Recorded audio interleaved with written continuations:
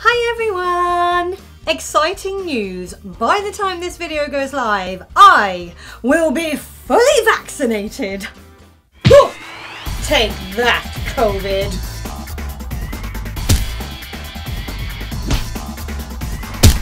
At the time of filming this, this weekend there have been protests and demonstrations in London.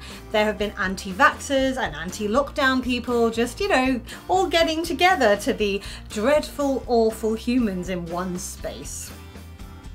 I have no time for anti vaxxers, I have no time for anti lockdown protesters because all of their arguments can be undone exceptionally easily.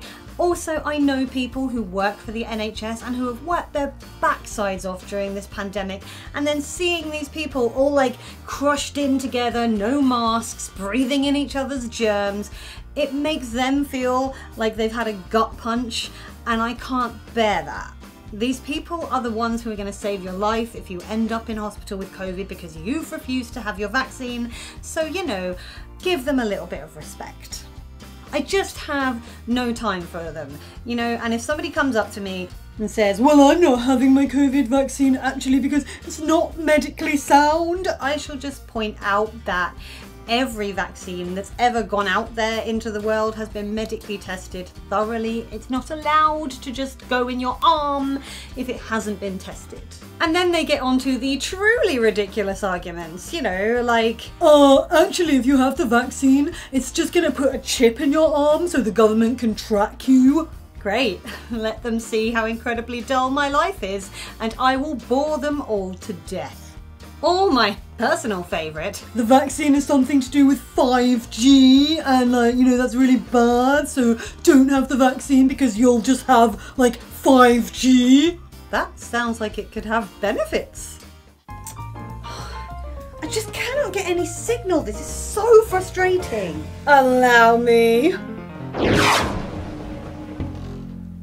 And yes, I do know there are people who have genuine concerns about the safety of the vaccine because of the blood clots, and I will just tell them do you have any idea how much more common a blood clot is as a reaction to the birth control pill? But millions and millions and millions of women take that every single day safely. There are always risks with everything, but something like this, where this is pretty much the only hope for getting out of this pandemic, I'm all for it. I literally cannot wait to have that needle in my arm. That said, I won't be changing my behaviour massively even after I've had my second jab. I can't believe I am now fully vaccinated. I can't wait to lick a lamppost. And then I'm gonna burn on my face mask! I'm more than aware that even though I hopefully will be safe and protected and I won't get seriously ill if I was to contract COVID from someone, I'm still potentially going to be a carrier of it to someone who hasn't been fully vaccinated. So I will still be washing my hands regularly. I will still be keeping a two meter distance from people. And yes, I will still be wearing my face mask because I'm not an idiot. There are plenty of people I care about who haven't even had their first jab or have just had one and not the second. So I'm still going to limit my behaviour because I don't want to put those people at risk. For example, extremely importantly, Leslie hasn't had either of her jabs and I now can go over to the office and we can work together in close proximity. So I am not going to put her at risk at all by just, you know, having my second jab and then just popping down to the pub or going into really crowded supermarkets and leaning over strangers because whilst I might not get sick, she could. And I'm not going to put her at risk. Now, I'm not saying that everybody who has gone to a pub or gone to eat out or anything like that is doing it because they don't care about anyone. I'm just saying for me, I'm not going to put myself in a position where I can pick something up and transport it to them and just be like, oh, well, I'm all right. I'm vaccinated. Sorry. This does, however, represent the start of little tiny baby steps back to normality. Leslie and I have talked about the fact that when she has had both of her vaccinations, we can't wait to go and have dinner out somewhere or go on holiday, have a weekend away together, not necessarily abroad. I don't think I will be going abroad for quite some time, thank you very much.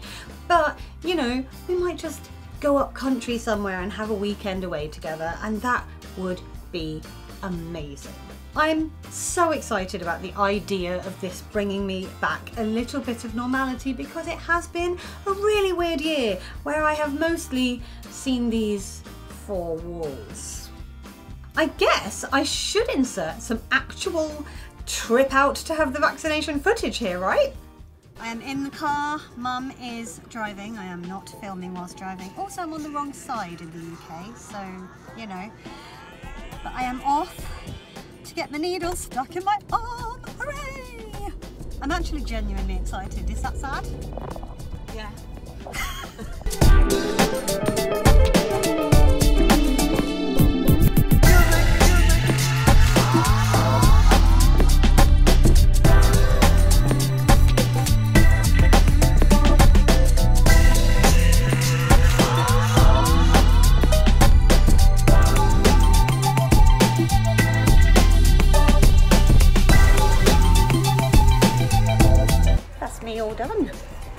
Fully vaccinated babies.